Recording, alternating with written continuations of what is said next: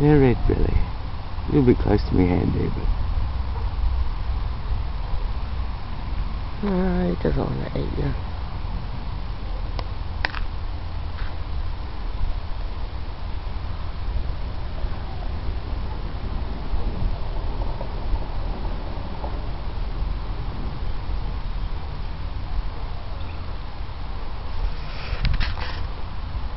Okay, we'll let this guy go.